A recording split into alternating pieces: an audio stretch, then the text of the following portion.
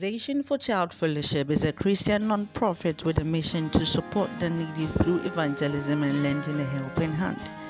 Founded in May 2015 by Reverend Gabriella, she's made a lot of impact in the lives of many children with a very small and humble beginning.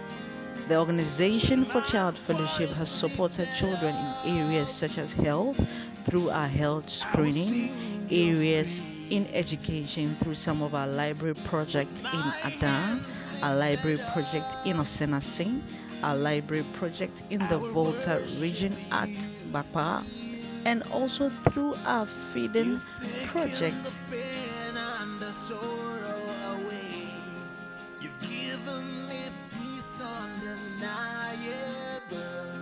Through our five year journey, we have supported a lot of hospitals, a lot of orphanages, a lot of communities.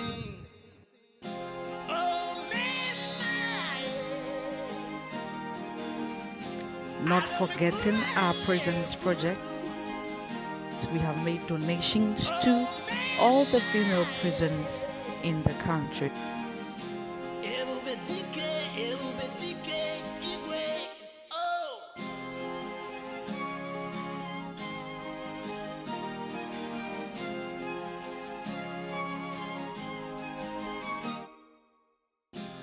Every breath that I have, I will sing your praise. Every day We want to use this medium to thank our sponsors and all our individual supporters who have been a part of this organization.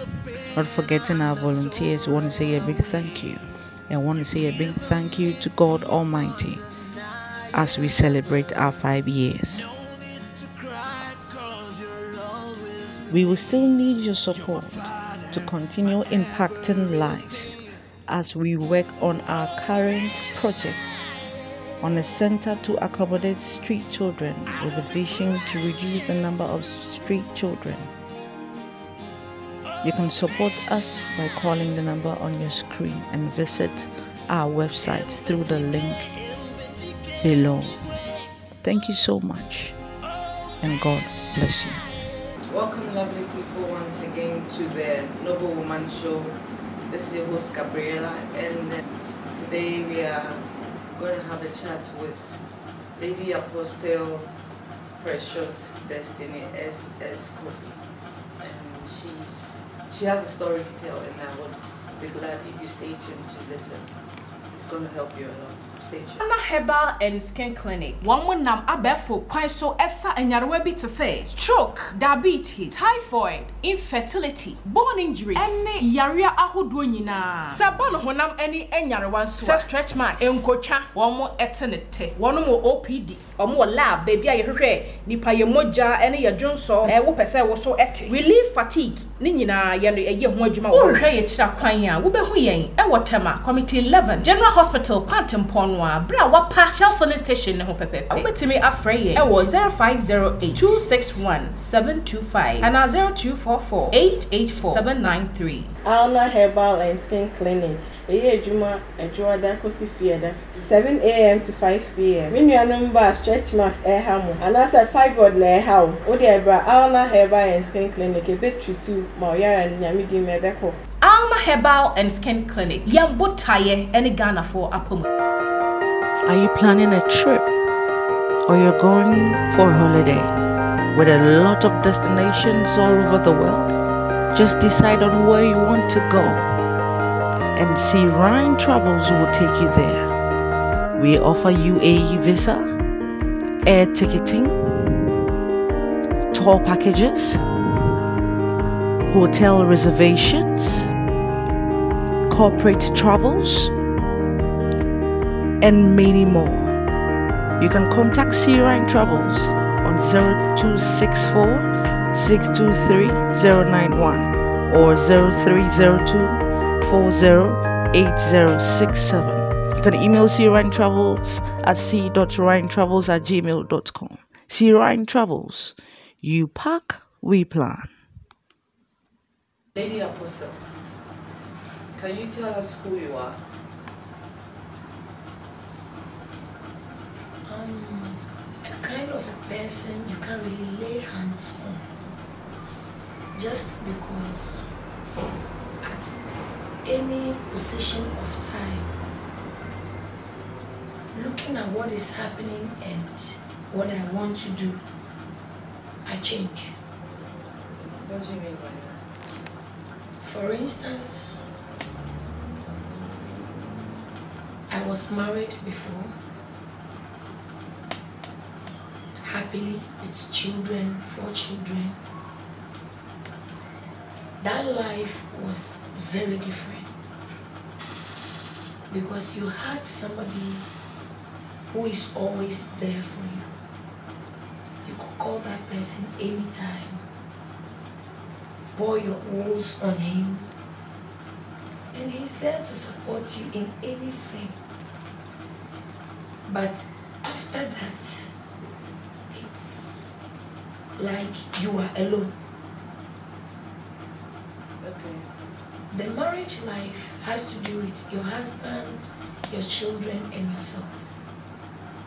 But when the man is not there, there is always a gap. There's always a A gap. huge gap.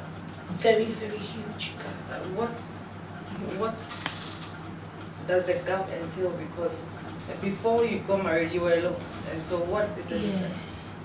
When you are alone from the beginning before you marry, you know you're a single person, a young woman coming up. All life is ahead of you. You do what you can by yearning to marry. Now, you know marriage turns your life around for you to come into contact with another person whom you don't even know his background very well. But by the grace, you learn to live with that person. That person becomes your friend, a brother, a father, and everything. With me, that is how I took my marriage life. So, people who knew me or know about my marriage life were like, now that this man is no more, can this woman survive? Okay, so that brings about you being able to be any person at any time. Yes. As in, I've come out of the marriage life. How? Why? What happened? Unfortunately, my husband was involved in an accident on his duty call, and that rendered me a widow and my children fatherless. Me being a widow, I think is a fate, so I shouldn't live a life of misery. So Would you say that you see this African thing where um, when the husband dies, they maltreat the woman? Did you go through that? Oh, mine was worse. Talking about that, when my husband even died, I was not in the country, but I received several calls that confirmed the families went into my marital home to carry things out of my marital home to their home. And I learned a lot of things happened as in they came to pour libation in the house, cursing me, accusing me of killing my own husband, even as it was an accident. And so that thing still exists in, in this modern time. Yes, it, it does. Because I have since then been the issues of widows. So what did what did they actually do to you? Some of the specific things they actually did. I was dragged to the mortuary. I was accused of killing him. I was accused being a witch. I was accused being a thief. I was accused being a prostitute. Yes. And I was forced to stay in the dead room, as in where he was laid. For how many days? In fact, I did not. Okay. For that, I did not. But I was dragged to the mortuary to identify the corpse in the cold room. Yes, to that extent. They claim is their tradition or culture. But people around me, it was cruelty. And they think they have abused my rights as a woman. So what did your family do about it?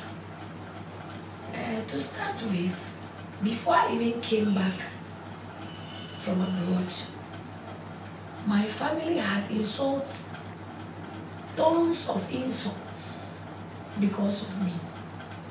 Yes. Even to the extent they could say I was not going to mourn my husband because I killed him. Yes. It even went to the extreme that they brought in their family tradition, killed a fowl. Ghana Herbal and Skin Clinic. Wɔn mo nam abɛɛfo kwan so ɛsa nyarewa bi te sɛ stroke, diabetes, typhoid, infertility, bone injuries, ɛne yareɛ ahodoɔ nyinaa. Sɛ bɔ ne honam ɛne nyarewa nso sɛ stretch marks, nkotwa, wɔn mo ɛte ne te. Wɔn mo OPD, wɔn wɔ lab baabi a yɛhwehwɛ nipa yɛ mogya ɛne yɛ dwonsɔ ɛwɔ pɛ sɛ ɛwɔ so ɛte. Relief fatigue ne nyinaa yɛ no ɛyɛ ho adwuma wɔ. Wɔrehwɛ yɛ kyerɛ kwan a wobɛhu yɛn ɛwɔ Tema Committee 11 General Hospital Kwantempɔn no a bere a wapa Shell filling station ne ho pɛpɛɛpɛ. Wobɛtumi afrɛ yɛn ɛwɔ 0508 261 725 anaa 0244 884 793. Alna Herbal and Skin Clinic. Èyí adwuma adwoada kɔsi fieda. 7 a.m. to 5 p.m. Me nuanom ba stretch marks ɛha mo. Anaasɛ fibroid na ɛha wo. Wode ɛbra Alna Herbal and Skin Clinic ebɛtutu ma ɔyara nyame di mu ɛbɛkɔ. Alma Herbal and Skin Clinic. Yɛn botaeɛ ɛne Ghanafoɔ apɔmu. So that the fowl was killed over my head. And I was being accused as this performance were going on. They they they killed a fowl, and they In the name, they, they did sprinkle the blood on me, but it was killed because in front of me, they got me standing. And they refuse none of my parents or my family to come close to me. why? That is their tradition. But and even and your family too supported them. My family didn't support when there has been this struggle since the death of the man. I told my family I went for that marriage. I was ready for anything. I told my family not to involve themselves because I know that my hands were clean from the death of my husband. Apparently, my husband was a wonderful man. I started womanizing, going after different kinds of women. Definitely, a man who defiles his bed has broken the hedge. So the serpent to bite. Before my husband died, I was a pastor. I graduated from Anagkazo Bible School, Colegon. But that thing of marrying to a husband who doesn't even see the call of God upon your life, he buried my call. He and the family. Because even the family were like, this your wife is a crazy woman. Because look at the lucrative business she has as a profession. Now she calls herself a pastor. You understand? And he too went as far as telling me, I really need a psychiatric checkup. Really? Oh yes. Just. But do you think that um, these kind of traditions and things? Because I, I was thinking that at, at this time in this world, these things do not exist. These things are there. I have some widows in some villages and out of No, they are in the villages. So at least you could say that okay, I will not be surprised if it's happening in the village, but in the city here too. A lot. There are a lot of widows who are still going through these things. And so, what do you think we should do about it? We're supposed to gather them, educate them, which I already do. The women. Yes, I already do. Educate them, empower them, and I also ensure that when there are little, little things I can do for them, I do for them. Okay, so what would you say, uh, or how would you say that a widow should live life? In fact, in my 12 years journey, You've been a widow for 12 years. yes, Oh, my 12 years journey of widowhood, I have seen widows who become indoor prostitutes, drunkards, depressed, all sorts of things. Some keep blaming themselves for being in the family which maltreated them. Some, some are even 14 years in widowhood, 12 years, 10 years, 2 years, 6 years. But they don't seem to have a grip over their life to say that maybe enough is enough. This is fate. So let me see what I can do for myself. To the extent that if you even offer them helping hand, they refuse to receive. why? Yes. I don't know that much. I can't tell, but these are some of the things. And at the end of the day, you hear that the person is no more. The person is like this, like that, like that. So I don't know, but there is more to be done. And I would also say that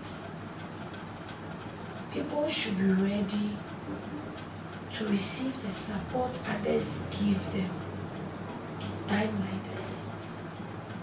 When I meet them or I'm told about any widow, I want to offer a hand by the means I have. Okay. Then when I see, oh, maybe the means I'm having is not the appropriate means to help the person, I see how I can reach to anybody who can give the assistance to the person. So what should be the source of uh, motivation for a widow? How should a, a widow motivate herself without anybody being around? In the book of Timothy, it says, Anna, a decent widow, or an honorable widow. An honorable widow should be honored. Okay. Okay. It also says in the Bible that a widow who is not yet 60 should not call herself a widow, but can re-establish life and continue life married so that she can take care of her family. So I live by the standard of the word of God. So even if there is nobody around, you should look at what the Bible says about widow. God has promised us He is the father to the fatherless and a husband to the widow. That is the word or the Bible quotations that I started with. And so you think that's what every woman should Should start with believing in the word of God for yes, a widow. Yes. As a widow, you should pray.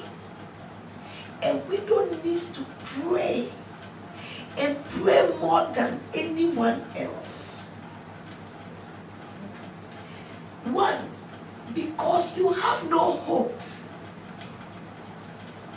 Human beings will fail you. The pastors will fail you. Most pastors will fail you. But on this platform, I want to mention one or two names of real pastors who were there for me and my children. Bishop Gideon Titi-Ofei one of my strongholds. The man was there for me. The big sister, Mama Franklin, was there for me. Reverend Mauli Agodogo was there for me and he's there for me till today. So there are still good pastors. But I want to encourage widows not to just believe in just anybody. They should put first their faith in the word of God. God will bring those that He has chosen to support them. I think that from the little you said, a widow should have a stronger relationship with God. But Yes. at that time they are alone and and the only way to um, fill that gap of loneliness is the spirit of God. Yes.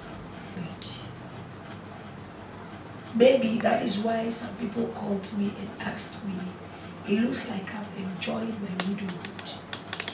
And I'm like, yes. You see, God is all we have. He's the only great provider. God doesn't change.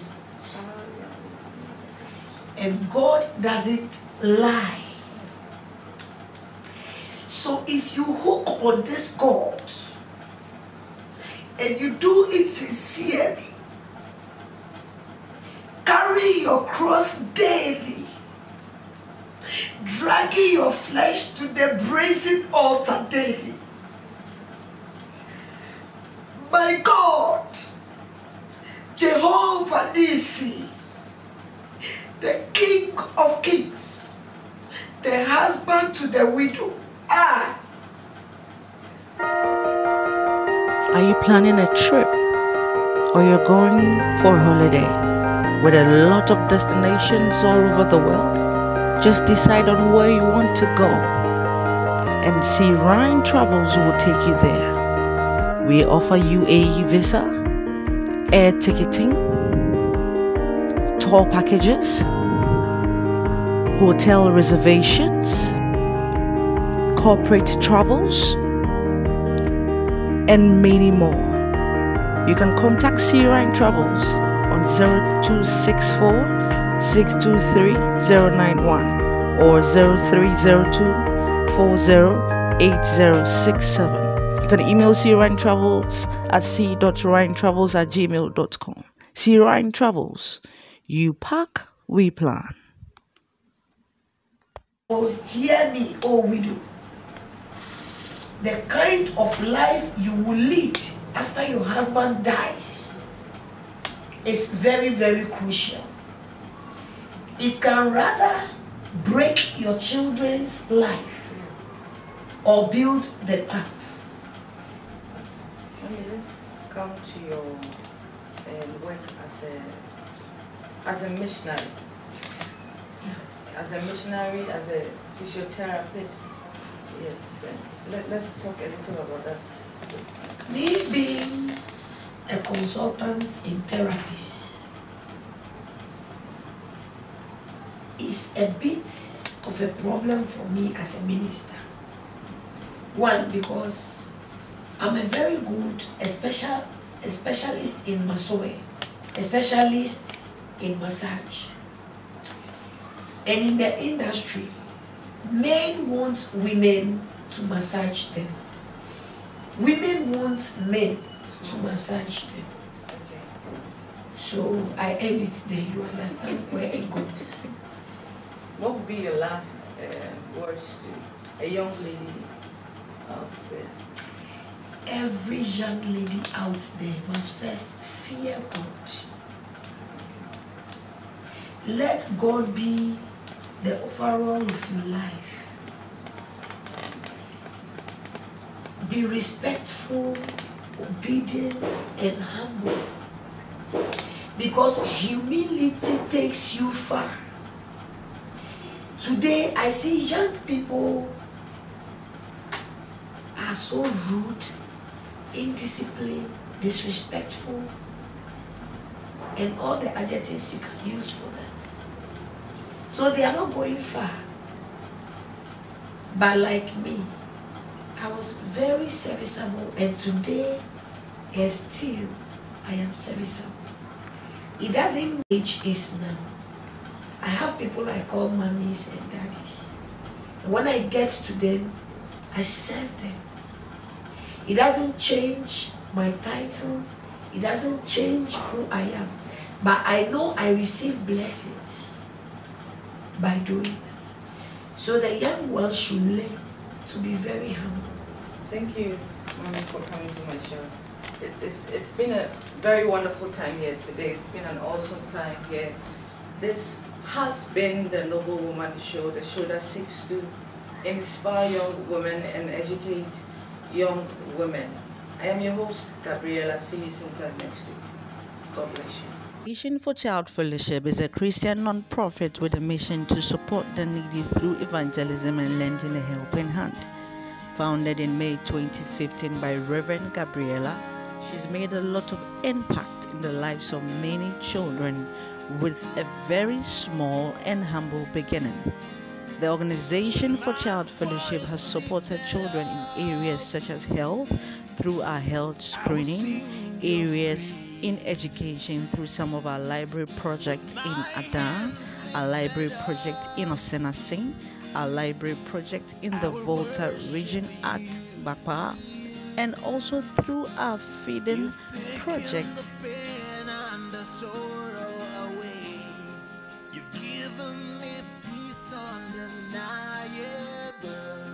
Through our five year journey, we have supported a lot of hospitals, a lot of orphanages, a lot of communities.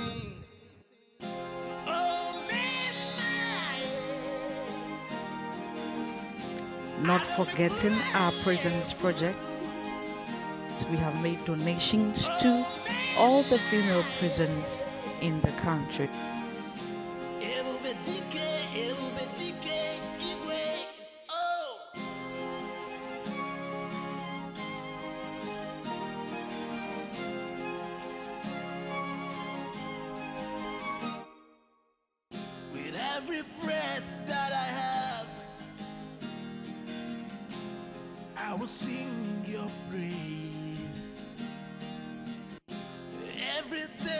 We want to use this medium to thank our sponsors and all our individual supporters who have been a part of this organization.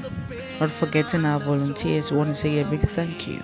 And I want to say a big thank you to God Almighty as we celebrate our five years.